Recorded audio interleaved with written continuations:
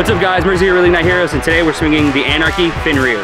This is a Kyle Slickers player model. Pretty sick paint job. Shout out to Kyle for getting hit in the face by that 118 mile an hour straight to the dome.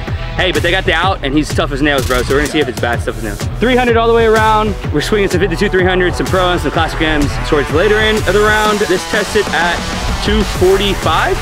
250. This tested at 250. So we're gonna see how it holds up. I believe their earlier models might have had some sort of a change because now they're straight hot out of the wrapper, even their other ones. So check in for the video. We're excited to swing it.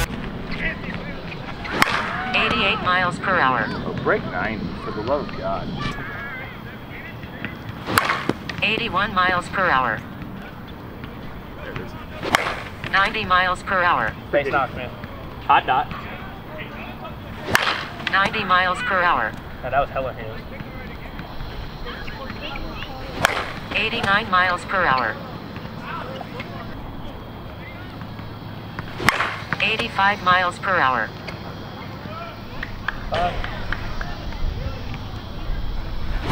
Eighty-five miles per hour. Eighty-six miles per hour.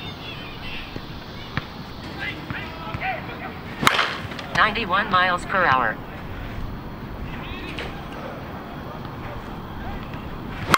Ninety-eight miles per hour. Ninety-four miles per hour. Eighty-five miles per hour. Shit, man. Pretend that one went out. It went.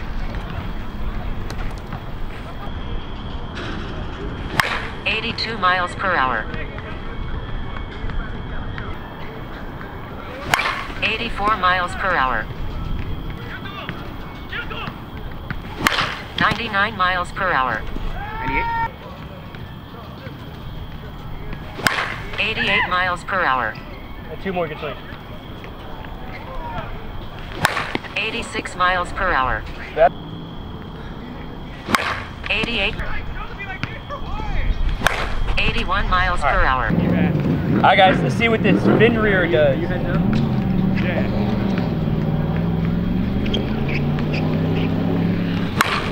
85 miles per hour. 82 miles per hour.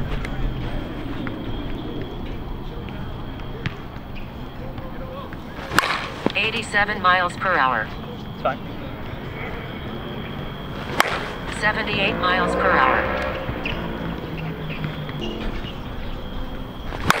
Seventy-eight miles per hour. Hey, it?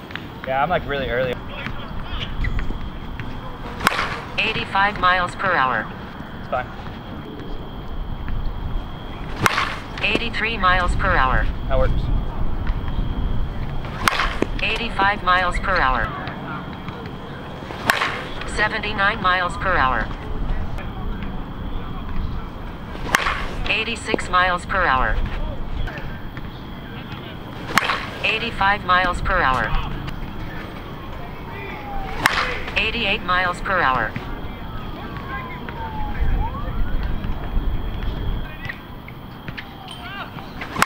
Eighty-nine miles per hour. 82 miles per hour. You can catch it.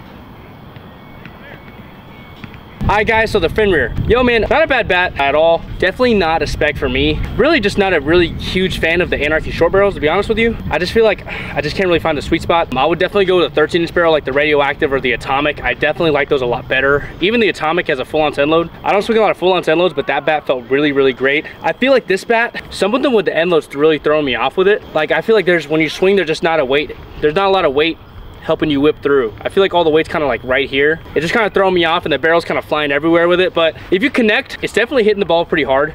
So if you guys want to go pick one up, definitely go for it. Especially if you're a short barrel guy, like to go out there and go get it. Just keep in mind that the end load's not very pronounced on this bat. So I would definitely, I would honestly go with a 27 myself. So if you guys want to go get one, just think about that, maybe go ounce up, so go get you one. All right guys, so the Fenrir, this is the Kyle Slicker model. Shout out to Kyle Slicker, man, he's a cool dude. We hit with them in the Anarchy Pro Day, and it was a pretty solid, pretty solid dude, man. And if you guys wanna help a guy out, definitely go pick one up. You know, they gave a good a good dude, a good bat. So I, like Dylan said, I feel like the bat just doesn't have a lot of whip and it could be just that the weighting that we have, the 26 ounce, I feel like it runs a little light. And I feel like I have like, I don't wanna say too much control. It's like too stiff maybe, whatever the case may be. It just has no flex at all. Um, even with very stiff handled bats, it does have, you know, some flex and you can have some sort of control with it. I feel like with this one, I didn't have a lot of control overall. I feel like a lot of the weight was not in loaded. It was that mid load. And if that's a bat for you, definitely go pick it up. I do know a lot of people that are swinging with this bat and they're hitting some taters with it. So definitely go pick this bat up on anarchybats.com. The code is 50 off LNH. I believe it saves you 50% off, but all the links are down in the description. It saves you $50 off, not 50% off.